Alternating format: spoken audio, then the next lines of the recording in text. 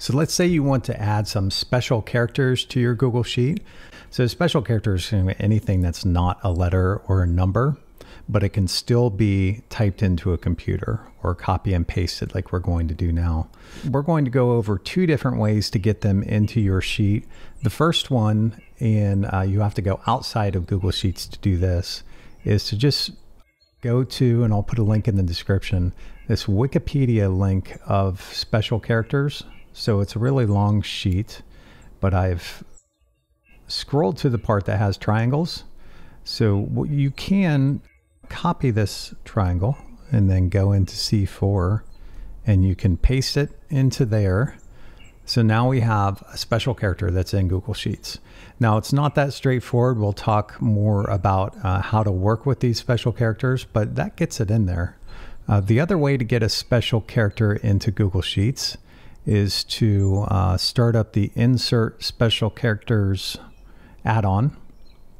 And this is an add-on I had developed for uh, full disclosure. And it's a little bit easier though. One, you don't have to leave Google Sheets, so that uh, distraction that happens as soon as you open up another browser tab doesn't exist. But if I search for triangle, it'll give us these options. So I see I actually put the upward triangle next to a negative percent. I wanted to indicate positive, but we want a downward facing triangle for negative 50%, right? So let's choose uh, this one. We're to just click on it and it will come in. So we will go below to the 87%. Let's just say that we want to try something else. So let's just say a, an arrow and we'll do a search for it and we'll use this southeast arrow it's called.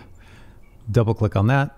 That shows it's going down. And let's just round it off do uh, one that shows this last percentage going up. All right, so now we have special characters into our spreadsheet. And maybe that's all you want to do. If that's all you want to do, then we're good. But if you want to use them programmatically, so if you want to have a function that will call, say, a downward facing triangle if B4 is negative, and an upward facing one if this looks like B5 is positive, uh, I'll show you how to do it right now. So every character that you can put into a cell or you can type on your keyboard is called a Unicode character. And they have different types of codes. But if you look at this uh, downward facing arrow that we did and you hover over it in this add-on, it will show you it's U plus 2198. All right, but there's different types of codes. If you want to put them into a function, what you need to do is run a built-in function in Google Sheets called code. And what that will do will extract the decimal code from the special character. So it's not that this code uh, that we just looked at is wrong, but I'll show you why you need this decimal code. So we will run the function called code and we'll go to C6, click on it, close it off, and it's Unicode decimal character 8600. Who knew, right?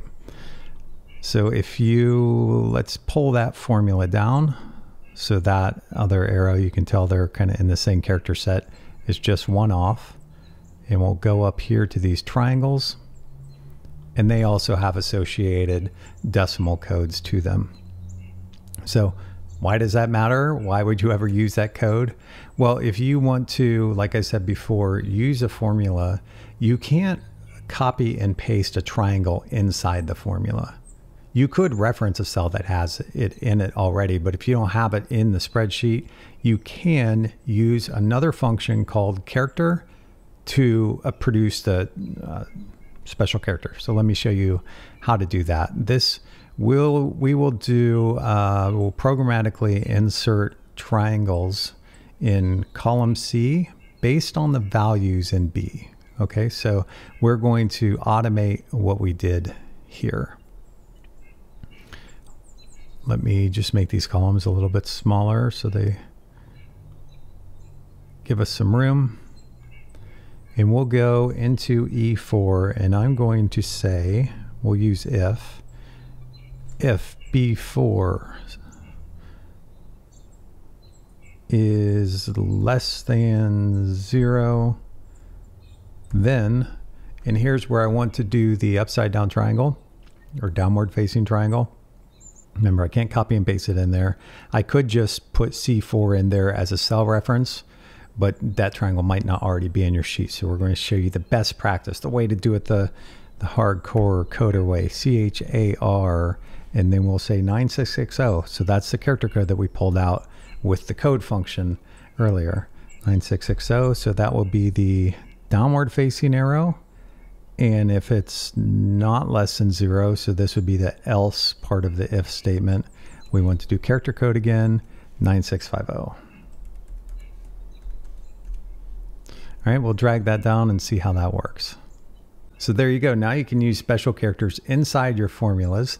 I'll put a link to this add-on in the description. I'll put a link to that Wikipedia page and you can have at it. And in this next video, I made a stock tracker, but we used custom number formatting and we put some special characters inside of that and then made it different colors for positive and negative.